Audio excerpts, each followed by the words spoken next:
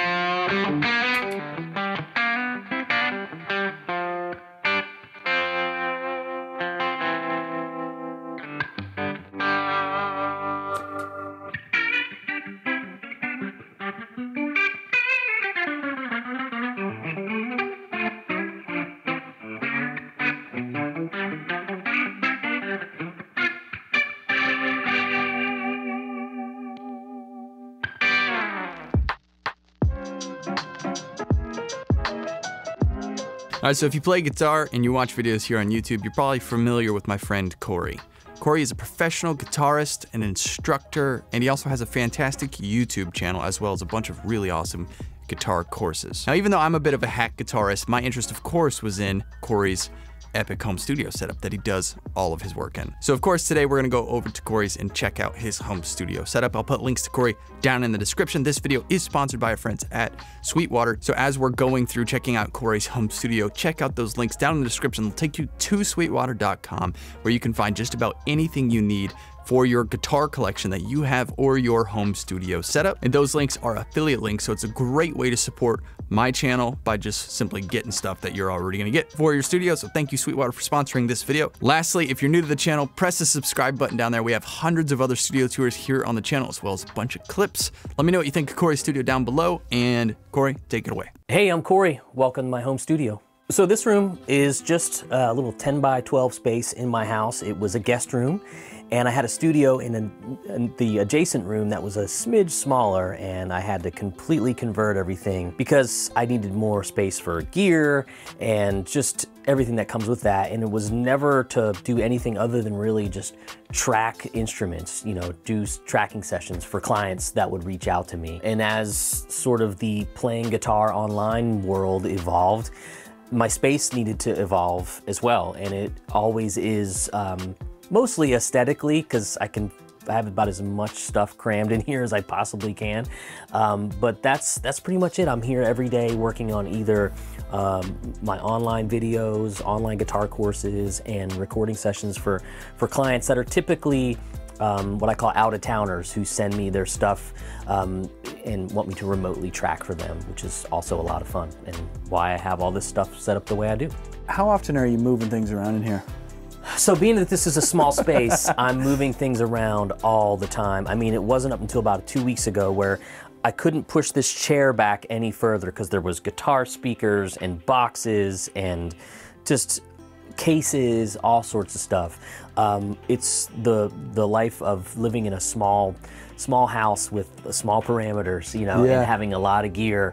Um, and we just built a shed in the backyard, so I have road cases in there now and all kinds of stuff. But um, I was prepping not only for Andrew, but to give myself less clutter, and thankfully it's finally feeling better. I mean, just having an extra space, uh, place to sit yeah. and practice or just relax is is much nicer. And then I can just I leave and I go out in the living room and hang out too and um, clear my mind because having these lights on you all the time doing this stuff it can be a little draining because it's not natural. But what I like to do is shut the stuff off and just have some of these vibier lights happening and that makes it feel a little bit more comfortable too. How long have you been working out of this space? Well, I've been out of the house uh, for about five years, and this space probably about three and a half or so. Like I said, it was in another room in my house that I'm remodeling, basically just kind of painting and redecorating, but there's a little bit of fixing going on. Um, so yeah, about three and a half-ish years or so, and it's been an evolution. Yeah, I couldn't imagine having a bigger space because I'd have to fill it with more stuff and more decor, you know, but you know, never say never. The highlight of this room to me is this amp wall here and if you could just sort of break it down for me. So I built this amp wall recently, and I didn't build it. A really good friend of mine and a great engineer and producer and master woodworker, Kenny Varga, here in Nashville. Um, he built this cabinet for me. We spec'd it out the size um, just to kind of not make it too tall. I didn't want it to feel like it was falling over on me. But the whole idea is that I love amplifiers. Um, and when I've ever seen big studios or people that have cartage rigs that bring them into the studio, they always have these wonderful cabinets. Now, I, this wouldn't leave the house. Um, it, it is on wheels, which is cool though. But I wanted something that could be more permanent to where I could have the workflow of using these amps. Because when I'm tracking something, they are instruments to me. They all have their own personal flavor. Um, and the only thing I needed really to complete it was an amp switcher. That's what the Kahayan is here. Now there's other amp switchers on the market, but this one was the one that spoke to me the most. Um, Kenny built me this little rack for it. There's another rack under the desk he built. He really set me up. And the speakers essentially are my OX boxes. I don't have any live cabinets anywhere in the house. Now, fingers crossed, someday I'll have a bunker that I can do that with, but we, we can't all be Tim Pierce, right, Tim? That's why Tim is Tim. He is, he is the godfather, and um, man, just an inspiration top to bottom. Um, but I can, I can turn this stuff on. Let's, uh, let's turn some amps on. Yeah. And let's turn up some stuff here. So we're gonna go to one. So I have them going like kind of one through eight. I don't have eight total. I have six. That one is my live amp, so I don't really, uh, you know, hook it up because it's, you know, I got to disconnect everything. Sure. But but if I want um, any variety of amp, you know, whether it's like a nice sort of mid-rangey, sort of like you know, um, great Larry Carlton sort of Robben Fordish sort of thing. So in my workflow, if I'm saying, well, I want a clean amp that I want to use with pedals, I might use my two rock, nice clean sound. And I can add any of my pedals like I normally would.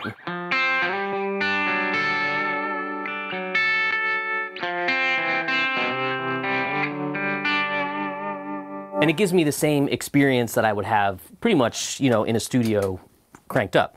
Um, now I can switch between any of those amps I want. If I can go to two, I can get the Marshall.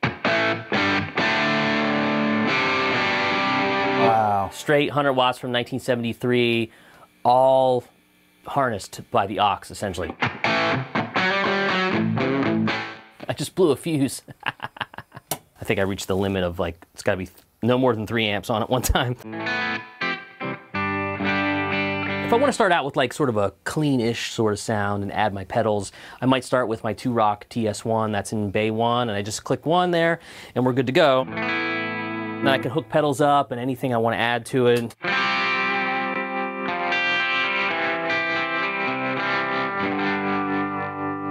And I'm good to go.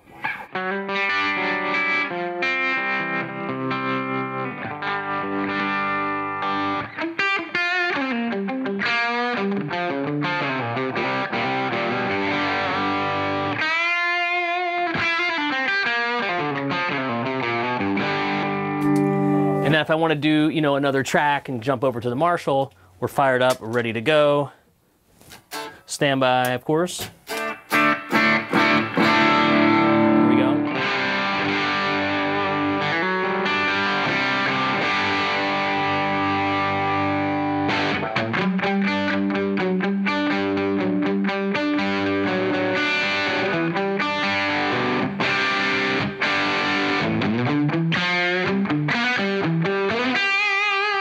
Now I can do over here too, if you want to swing around, you know, this is the OX app, so I have different things I can, you know, add. I can do the Marshall here and add some room sound.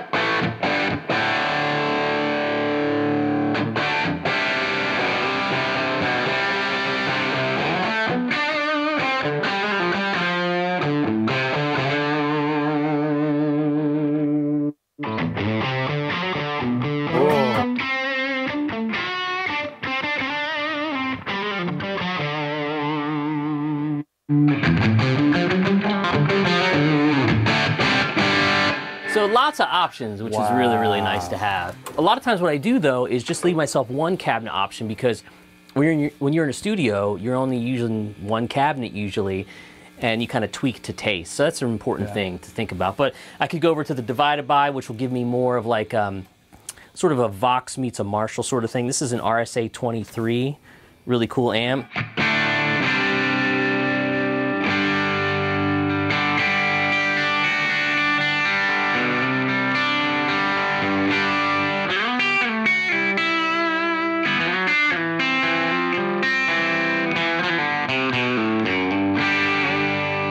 So obviously we can we can keep going from there, but I can fire any of those amps up and do that. It's a lot, a lot of fun. Yeah, and then of course still have my pedals that I can use, or I can hook up a different board. Um, I'm a pedal kind of fanatic. I I love using them just because I think there's something great about knobs still that I love. Yeah. But there you have it. That's kind of kind of how I use that. And if even if I wanted to program another OX to do different cabinets, I can hit speaker two.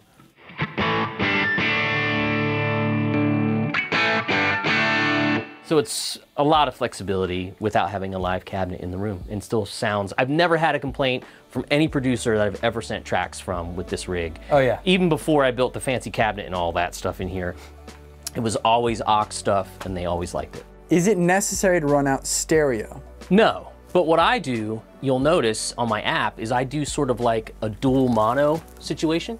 So I am running stereo out of the box traditionally, but I'm the pans are straight up and down. So it's kind of like you know, like you would do in the studio, where if you had a 57 and a 121, Yep. you would mix it for like a mono guitar sound, even though it is two sources. Yep. So that's kind of how I do it. Um, if you wanted to go um, mono out of the OX, I just pan everything to one side at that point Ah. because then it would be out of whatever particular output of the box you're, Ah, you're, you're okay. using it. You know, And then do you have any particular preferences on the line out level? Do you like to start at a certain place? Do you how do you treat that? the OX has a ton of headroom i've noticed so you don't really need a lot um, so if it's ever i don't think i've ever had this thing past five in my life Okay. um, because i'll I'll send it into my my Apollo, and then lots of times I'll hit it with like a Helios plugin too, or something to kind of Little color? it- a little color. And I love that sort of forward mid-range thing that the Helios has. That's unobtrusive, in my opinion. I think it's really makes my guitar tracks come alive. And then what do you think about the uh, using it as a amp top box, load box? I don't Well, I do guess it. because you're not in the cabs. Yeah, I don't really have to do it. Um, the thing that people get wrong about this is there's other ones out there that do it in a more like sort of logarithmic way, I guess. Okay. Because usually what happens with those other boxes is it converts your analog signal into digital, which allows you to have more of a stepped volume control. Where this one, being that it's analog, there's only five settings on there. Mm-hmm. And their whole goal, from what I understood when they developed this thing, was to have analog, analog, analog outside of the digital modeling aspect so that your your sound here was not being altered in the box digitally other than the cabinet emulation. So hmm. you're getting all of what the normal amp would do and adding a digital backend essentially as opposed to using a digital power amp of some sort in here to let it do its bidding. God. I know it's kind of kind of weird, but that's Yeah. what differentiates this from like the Waza box and stuff like that. This is just a voltage regulator. Um, a lot of these vintage amps, like pr- particularly like this Bassman or the Marshall, they were built at a time when voltages coming from the power company weren't as high as they are today. I'm not an amp tech. I don't know the specifics, but it can be damaged. You can add some damage long term to the transformer. Um, I believe the output transformer maybe it would be. Somebody correct me on that. Um, but I like to keep it somewhere in like the 114, 115 range um, to kind of because you'll notice if we turned everything off and turned this down to zero, it'd probably be like 125, 127 coming from the wall. Uh, in Nashville, I've seen studios and, and venues that have voltages of 130 volts coming out of the wall, which is tough on these old amps. And lots of folks here like to play their old Deluxe or their old Princeton or their old Bassman. So you get get an Ant Maniac or uh, Brown boxes are really popular. I like this one because I can really pinpoint the voltage that I want. So um, it's a cool Nice. little cool little tool to have to make sure everything is safe and sound. And can you get those eh, like anywhere? It says. Did this you get it is like site? from yeah vintagesoundworkbench.com. A friend of mine told me about these, and it's literally like a like a box looks like you build a metal shop. Yeah, yeah, yeah. I don't want to discredit his builds, you know, but it is pretty basic. Um, but I like it. How do you think about pedal boards and use them in the studio? It's kind of like a a, a box of of crayons, you know, and if you have a big one, like there's a big board behind you that's in disarray that I had more as a studio board that had kind of the kitchen sink on it. Yeah. Um, I don't need that as much these days. This one here is like my little live rig that I use when I'm doing my solo gigs because it's pretty simple and it's got just about everything I need. Um, the other one there that's in the cabinet is a new build that I'm just experimenting with. But, you know, a selection of drives, time-based effects, and you're gonna be good for just about any kind of session that I've run across. Now, the thing is, is like the wackier you get, the more interesting you get, um, the, the more you'll sacrifice how big your board's gonna be, um, you know, how heavy it's gonna be. If you decide that that's your only board and then you gotta do a fly date somewhere, oh man, like you're not gonna check that giant pedal board, you know, because TSA will probably destroy it for one. It might get damaged. It might be really heavy. All those kinds of things really come into play with pedal boards. So, um, that being said, XTS in Nashville, they're a godsend. They make my pedal boards. It's a, it's an expense to have your board professionally wired, Sure. but it's also an insurance policy at the same time. So like this is the one I use the most just because it's simple. It's my little in-town board. Um, let me use the, yeah, the two rocks since that would be sort of what I use the most live. And you'll see even here it's a little janky because I took a pedal out and I added one. So sorry to my guys, I screwed your beautiful design up. Um, but I come into this Argo fuzz. You always want to have fuzzes early in your chain. Um, and this is a cool like octave fuzz where um, not only does it get a good fuzz sound. Wow. You can do turn the blend control up and you can get the real high octave.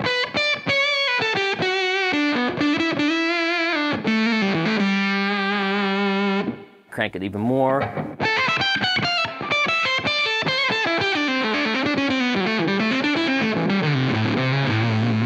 Wow. So that's a really, really fun pedal. It sounds great in a lot of positions, and that's by my buddy Zach and Mythos, all those guys. From there, I don't exactly remember where it goes, um, but the drives are important, and there's the volume pedal. I'm a big drive stacker, so if that's kind of like my yeah. bass, clean sound, when I'm doing my blues rock gigs, I want something. That's kind of like my bass sort of broken up clean sound. But then I want a little bit of a boost. I'll use the Greer Lightspeed. Because it just feels like the amplifier turned up.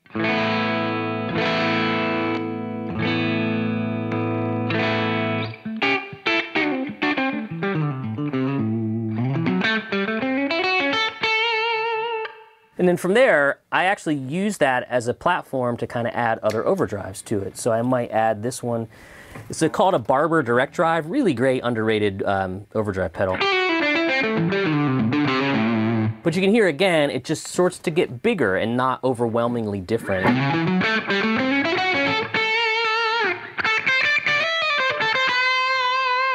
It feels like an amp to me. Yeah. Um, and then this is a Cornerstone Gladio SC that gives me a little bit more of that sort of mid-range. More compressed.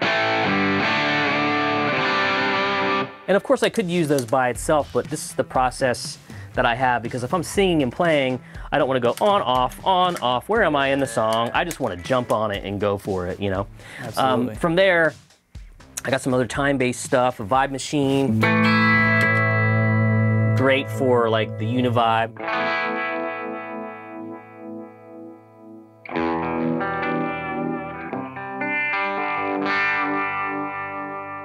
And I'm still kind of learning that pedal. As soon as you do that and you start to play Hendrix, it's kind of thing. Oh, but yeah. I'm like, how can I make it not sound like Hendrix? But but it just always makes you want to play like Hendrix. so there's that. Um, the Rotosonic is a great rotary speaker from my friends at Keeley.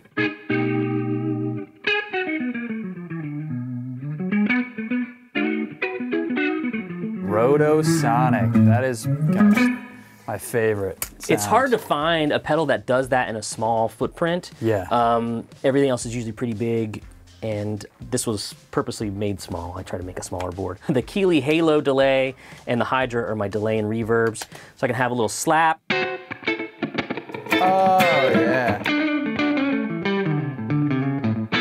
And then I'll have a long delay program, just a short, nothing that's too crazy and out there. Just oh nice. it's there when you stop, kind of a thing. Um, and a great reverb and tremolo over here. So if I have reverb on an amp, I don't mind adding more reverb to it. It's kind of a makes for like a cool space. Um, but I might, you know, put on a plate. Something maybe a little longer. Wow, that's beautiful. It's a great sounding pedal. There's so much it can do. And it does a couple different tremolos. Oh.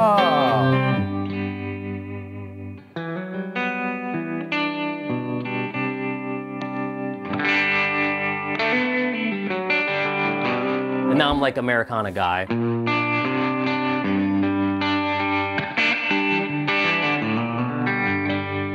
And I can do the really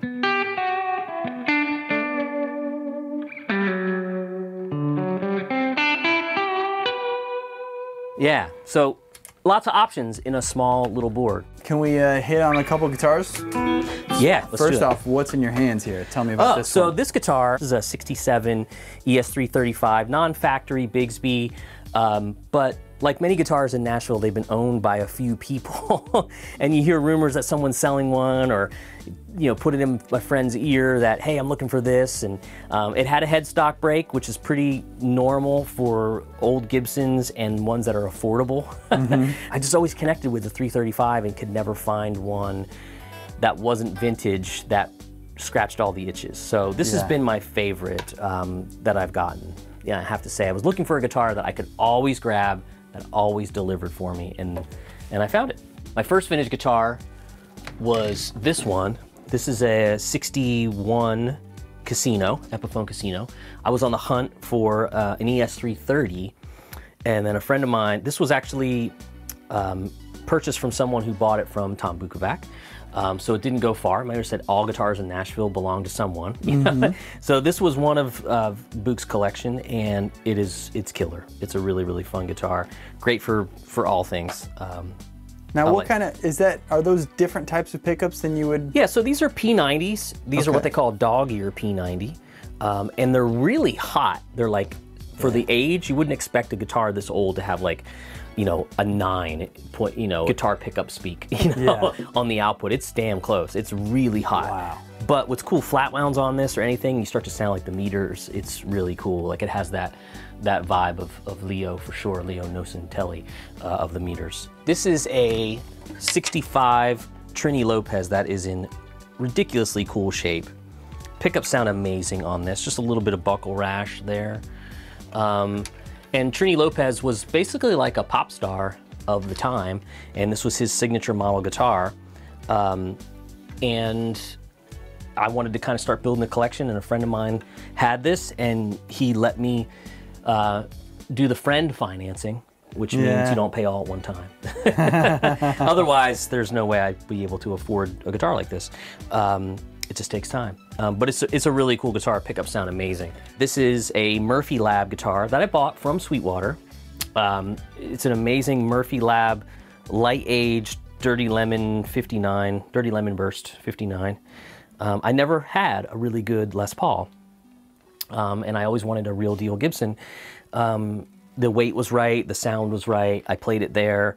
Um, they were, I was visiting them. They were driving me back to the airport, and I was like, "Yeah, I think I want that Gibson. Can we can we work something out?" And they're like, "Yeah, talk to us when when you get home." So you know, sold another Marshall, and there it is. You know, because don't let me fool you. Like, you know, musicians were always moving stuff sideways. It's just the way it works. You know, this is a '64 Yeah, 64 junior, uh, SG Junior. The absolute greatest sounding rock and roll P90 I've ever heard. Um, super light, it's like a feather. Uh, I absolutely love this guitar. In my quest to get a 335 that looked like what I wanted, um, it's currently under state of repair. I have to put a different, I robbed the spring out of it and put it in that guitar.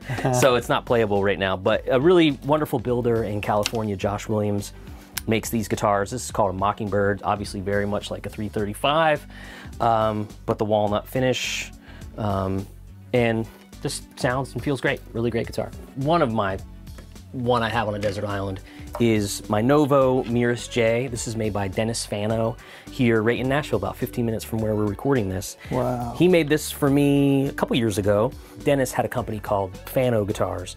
He sold that company and made Novo, and they are the only new guitar I've ever really played that feels like it's old, Yeah. but it's not. And Yeah. it, they, they checks all the boxes. Dennis made what I think is like one of the coolest strats. They call this the Idris.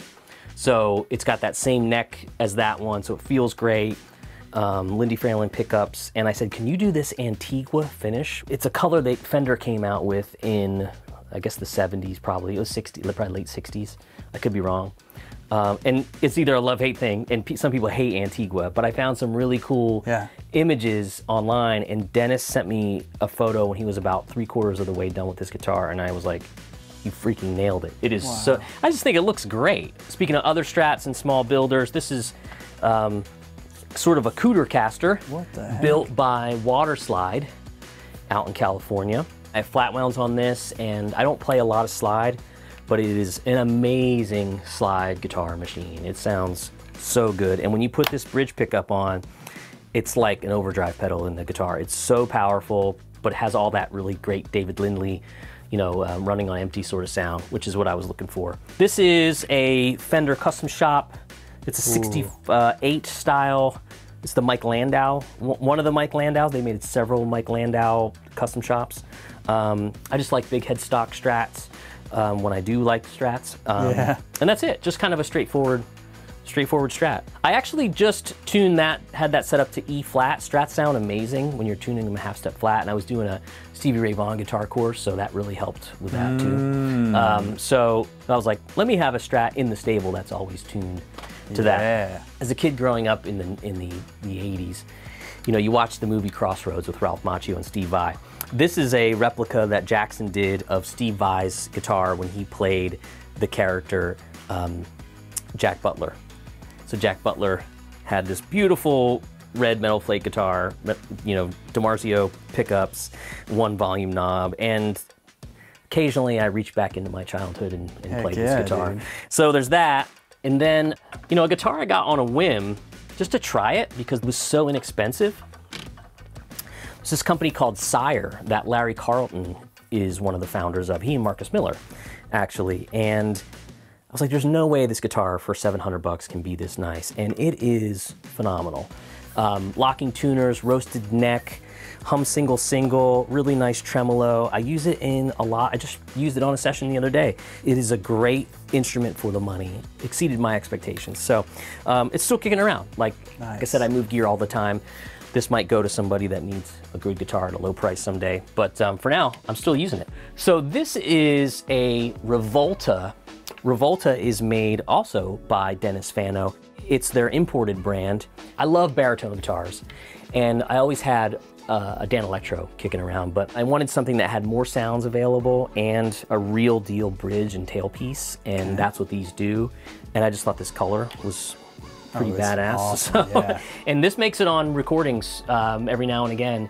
And I just used it the other day, and it, it's it's got that real like piano low string kind of sound, like that's just tight and wiry, you know, Yeah. and not real floppy. It's it's really nice and punchy. So this is a Teo Mando guitar. Uh, built by Teo, um, I believe it's Terry Owsley is the gentleman that makes these guitars. I don't know if he's still doing it, um, but they're very similar to um, the old Vox guitars that were like this many years ago. It's basically an electric 12 string cut in half. Uh, so it's a half, you know, it's an octave mandolin guitar essentially. Wow. And I first heard Buddy Miller seeing playing one of these um, when he was playing with Emmylou Harris uh, during the Wrecking Ball album, which is one of my favorite records ever. And just all the sounds he was getting out of this thing.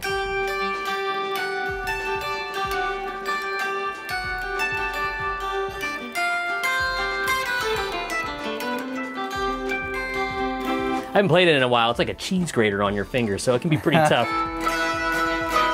And it's hard to keep in tune until it really works its way into it and the strings stretch. But aside from that, it's a really great sort of um, session like secret weapon, even Yeah. more so than a, than a high strung guitar. It's just because the fact that it's got electric pickups, you can really do some fun stuff with it. This was the first acoustic guitar I ever have. This is a old Wash, Washburn Festival series Okay. and it probably looks a lot like if you've ever watched that video for Extremes More Than Words. That's why I wanted this guitar. My parents bought me this, I think, when I was like 16. And I've done a ton of acoustic gigs on this. When when skinny acoustics with electronics were all the rage, this was the one I had, and I still have it. So I'm, I'm glad it's still the heirloom that it is. You know. Yeah. Um, but you know, I don't have a lot of acoustic guitars. I really love acoustic guitars. I just don't play them a lot. Um, so I ordered a custom Martin which although it's when you see custom music, you think there's going to be like a bunch of inlay or you know bling on it. But having worked with them for so long and doing these clinics, I I, I got to know what really makes acoustic guitars tick: um, top woods, backwoods, bracing, um, glue. Um, the torrefaction process now, like, so I put everything they do, like if you made a car like to really pimp the engine out like that's what i did. I wanted it to kind of look like a model from maybe like 47 i looked at a 00018 so essentially it's a 00018 000 being the body size 18 depicting the back and sides. Uh, this is sinker mahogany so it's that kind of mahogany that has been pulled from the bottom of a lake or a river for years, so it's got all this sort of different tonality because of what the water has done to the wood. A big chunky neck, which Martin doesn't do. Different style tuners. Um, uh, the binding is Madagascar rosewood, so it's all this like kind of extra stuff, but without the bling.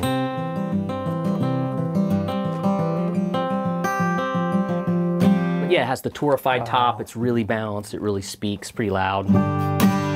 But yeah, I figured if I was gonna work with Martin, I had to get a guitar that really worked for me. So that was one. So that's like pretty much the extent. I'm pretty low on acoustics right now, but you know, maybe I'll get more. Can we uh, flip over to studio recording world? Yeah, basically everything from the amp world runs through a snake and then it goes into my Apollo. And then I have a twin, not only for a couple inputs, but it's also my monitor control, which is really helpful. Sure. Um, so I'm, I'm constantly relying on that stuff. I don't do a lot with outboard gear, but I do have uh, the two-channel warm audio preamp here. That's the classic 273? 273, exactly. Um, I, Love that one. Terrible. The 76, we know what that does probably. Yep. My compressor.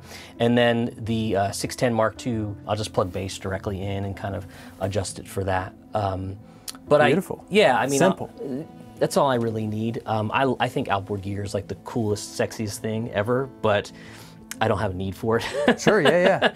but I do I do appreciate it, and um, the warm stuff sounds great to me, and um, I've been a UA fan for for many years, so happy to use that.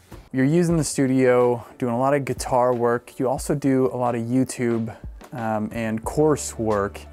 Being uh, someone that wants to put high quality stuff out on the internet is is a whole new world because now you're actually being watched in Yeah. addition to being heard. Yeah. Um, so when I record videos, I'll just sit in this chair and kind of maneuver myself and maneuver these cameras. So these are just, I just use Sony A7 IIIs. Um, these are the, the Atomos uh, Ninja 5s that are not only a field monitor, but also um, a hard drive in them as well. So that's what Andrew's using currently, and it's just a lifesaver. Um, simple one softbox setup. Um, I just got this Sennheiser. I think it's a MKE one. I, you know, when I watch these things, I'm like, how come people don't know their own gear? Now I understand because you get you get so in, you know engulfed in all of it. But I'll just move this thing right here, just kind of point it at my chest, and it is an amazing sounding boom mic. Um, I used to use a lav all the time, and I until I got that. Um, but what I do for a live stream is I have this little camera here. And I'll just bring that down, um, and then I'll use This is the SD1 from Universal Audio. I'll use that. Um, I could I could use this mic, but I, I don't that much. Um, and I just got like a little overhead setup here um, that I can hook an arm on, and then a camera can go that way. Oh, cool. And that's how I've been doing. Like I'll set pedals up here, Yeah. and then I'll use I'll use my little Blackmagic switcher, and that'll switch me between camera shots. Um, Nice. And yeah, so it's you know just accumulating all this stuff to make your life and workflow easier and hopefully high quality. So when I shoot a course, that's pretty much how I'm doing it too. All the audio is going into the Apollo, either my voice here or guitar there. And that's pretty much it. It's pretty straightforward. It takes a lot of ingenuity to kind of say, well, how can I best utilize the space, you know, to be efficient for sure. It's a challenge. Can you uh, tell people where can they find you and like any cool courses or projects coming out soon? So I'm on YouTube, just my name, Corey Congilio. I do a lot of lessons and we do a lot of gear chat stuff too, whether it's a demo or we do a lot of live streams now where we're really giving some honest opinions of gear. It's a lot of fun. But um, my teaching website is called workingclassguitar.com and I have 20 online guitar courses there. We do uh, monthly subscription membership style things where included in your membership is a, a Zoom hang that we do once a month, which is really fun. And we're always trying to get new content um, out for the VIPs even before they go on sale uh, as a course. So we do courses and we do memberships. Um, and That's cool. Yeah, it's, it's a lot of fun. It's been such a wonderful experience to build this business over less than two years. Wow.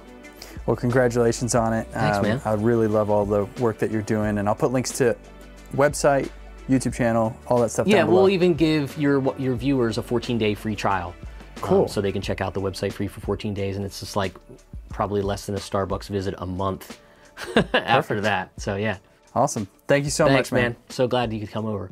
All right, we'll see you guys in the next video.